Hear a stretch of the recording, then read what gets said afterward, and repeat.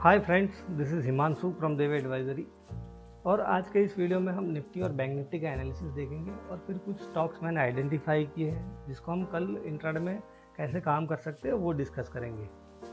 सो आप देखिए कि आज निफ्टी ने 20 ई के आसपास से एक बहुत ही स्ट्रॉन्ग फॉलो थ्रू दिया है और एक बहुत ही स्ट्रॉन्ग बुलिस कैंडल बनाई है। और जैसे हमने कल डिस्कस किया था कि अगर यहाँ पर हमें कुछ कंजिक्यूटिव क्लोजेज मिलते हैं तो फिर ये जो रेजिस्टेंस है यहाँ पर 15,050 के आसपास का उसको मार्केट क्या है कि कॉन्कर कर सकता है। और जब भी कोई रेजिस्टेंस बहुत ही टफ हो जाता है तो ऐसे केस में मार्केट क्या करता है कि ऐसे रेजिस्टेंस को गैप के साथ कॉन्कर कर सकता है। So my point is that कि अगर एक या दो दिन हमने यहाँ पर स्पेंड कर लिए 850 के ऊपर क्लोजिंग दे दी तो यहाँ पर क्या है कि गैप अप की पॉसिबिलिटीज़ मुझे ज़्यादा लग रही है कि ये रेजिस्टेंस को मार्केट गैप अप के साथ ही कॉन्कर करेगा।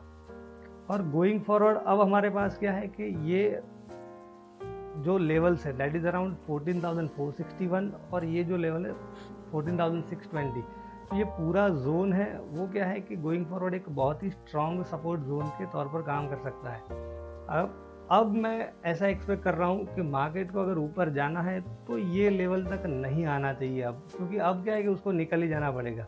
बट ओनली कंसर्न क्या है कि जो डेली आरएसआई है, वो क्या है कि अभी 60 के नीचे है। तो अब देखते हैं कि मूव कैसे आते हैं उस पर बहुत सारी चीज़ें डिपेंडेंट रहती है और फिर क्या है कि हमें एडजस्टमेंट करने पड़ते हैं। अब हम बैंक निफ्टी का स्ट्रक्चर देखते हैं डेली का। और बैंक निफ्टी में देखिए कि हम डिस्कस कर रहे थे कि साइडवेज ट्रेंड है और बायस नेगेटिव और पॉजिटिव होता रहता था।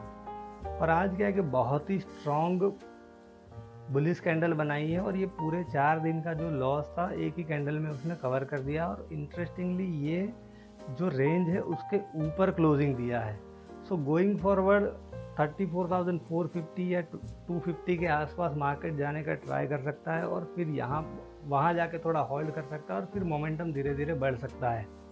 और यहाँ पे देखिए कि बहुत ही स्ट्रॉन्ग बुलिस कैंडल बनाई है। सो मे भी कल क्या है कि इनसाइड डे की पॉसिबिलिटीज़ बढ़ जाती है। और अब यहाँ पर ये जो जोन है पूरा 31,625 और 32,100 ये जो पूरा जोन है एक बहुत ही स्ट्रॉन्ग सपोर्ट हो गया है। अब मार्केट को ऊपर जाना है तो ये जोन में नहीं आएगा।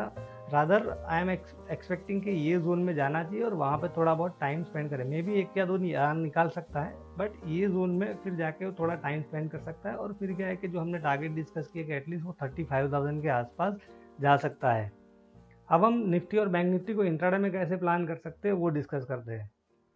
तो सबसे पहले कि कल हमने जैसे डिस्कस किया था कि क्लाउड के ऊपर अगर प्राइस चली गई और एक हेल्दी कंसोलिडेशन हमें मिलता है और उसकी स्ट्रेटजी मैंने आप सबके साथ डिस्कस की है ओपनली तो आप देखिए कि यहाँ पर प्राइस जो क्लाउड के ऊपर गई थी और फिर एक हेल्दी कंसोलिडेशन हमें देखने को मिला और जैसे ही ये कंसोलिडेशन का हाई ब्रेक किया और एक अच्छा स्ट्रक्चर था आप देखिए कि और this is a very classical technical analysis आप देखिए कि रेंज को ब्रेक किया, फिर उसी रेंज को रिटेस्ट किया और फिर ब्रेकआउट आया है।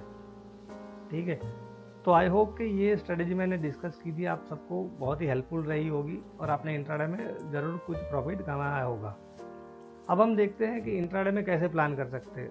तो अगर गैप अप होते हैं फॉर एग्जांपल यहाँ पर 15,000 के ऊपर गैप अप होते हैं तो फिर क्या करना चाहिए हमें कि प्रीवियस डे हाई तक आए और वहाँ पर सपोर्ट लेके बाउंस का हमें वेट करना चाहिए। तो मे बी यहाँ पर हम क्या है देख सकते हैं कि एक हायर हाई फॉर्मेशन हमें मिले, इस तरह से सपोर्ट लिया, फिर नीचे आता है और फिर ये हाई ब्रेक करता है। तो इस तरह का एक स्ट्रक्चर हमें प्राइस एक्शन को देखने को मिल सकता है।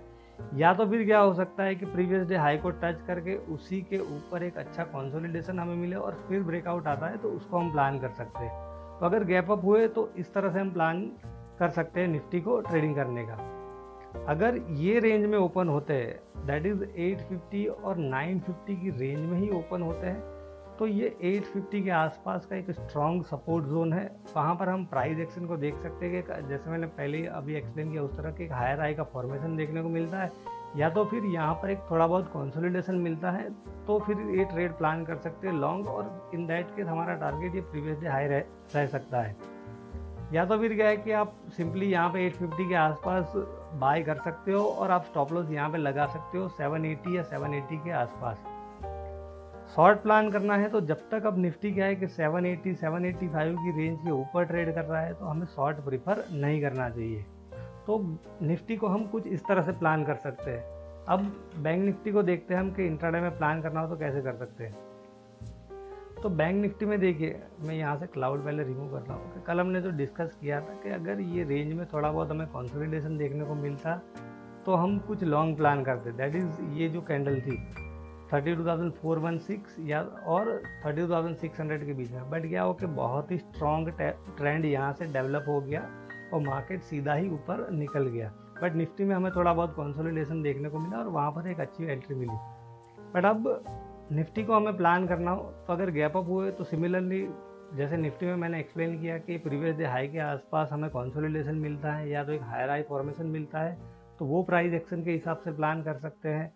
फिर अगर ये रेंज में ओपन होते हैं thirty thousand thirty three thousand three hundred और thirty three thousand six hundred अगर ये रेंज में ओपन होते हैं फिर क्या है कि ये थोड़ा ट्रिकी हो जाएगा कि इसी रेंज में मार्केट साइडवेज मूव कर सकता है। बट ये एक इम्पोर्टेंट सपोर्ट जोन है यहाँ पर कि अगर इसके आसपास मार्केट आता है 32,900, 32,800 के आसपास मार्केट आता है तो डेफिनेटली हम यहाँ पे लॉन्ग कर सकते हो और यहाँ पे एक स्टॉप लॉस हम क्या है कि 32,700 के आसपास का स्टॉप लॉस लगा सकते हैं। और इन दैट केस के एक स्ट्रॉन्ग मूव यहाँ पर हम एक्सपेक्ट कर सकते हैं वो 33,300 500 के आसपास जा सकता है।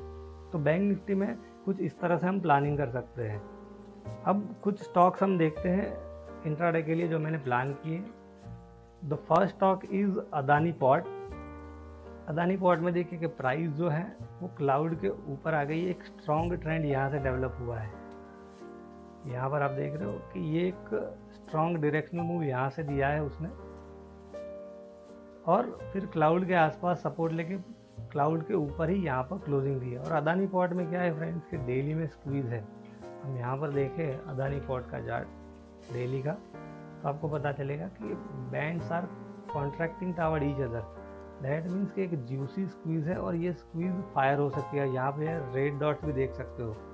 तो एक ब्रेकआउट आया इंट्राडे में तो ब्रेकआउट क्या है कि सस्टेन होने की प्रोबेबिलिटी ज़्यादा है यहाँ पर। तो हम कैसे प्लान करेंगे कि आज का जो हाई है 760 760 के ऊपर हम बाय कर सकते हैं और हमारा स्टॉप लॉस रहेगा 745 के आसपास और हम एक्सपेक्ट कर सकते हैं 775 या 780 का लेवल भी एक्सपेक्ट कर सकते हैं। या तो अगर ट्रेंड अच्छे से मटेरियलाइज हुआ तो 790 या 800 तक भी ये जा सकता है। 760 के ऊपर 745 का स्टॉप लॉस लगा के हम ये ट्रेड को प्लान कर सकते हैं। दूसरा जो ट्रेड है that is Gujarat gas. Gujarat gas भी मुझे ठीक लग रहा है बिकॉज़ आप देखिए कि यहाँ पर प्राइस जो है वो क्लाउड के ऊपर है और दूसरा इम्पोर्टेंट पॉइंट ये है कि उसमें भी डेली में स्क्वीज़ है। आप गुजरात गैस का डेली का चार्ट देखोगे तो ये डेली में स्क्वीज़ है और यहाँ पे मुझे ऐसा लग रहा है कि this is an this is a head fake एक बॉलिंजर बैंक के रिलेटेड कंसेप्ट है कि आपको दिखाता है कि जो ब्रेकआउट आया वो गलत साइड में और फिर मार्केट रिवर्स हो गया है। हमें ये क्या दिखा रहा है यहाँ पे कि मार्केट नीचे जा रहा है बट सडनली यहाँ पर रिवर्सल आ गया है। So this is a very positive signal तो गुजरात गैस अगर कल ये जो हाई है आज का 533.80 दैट मीन्स कि 534 के ऊपर ट्रेड करता है।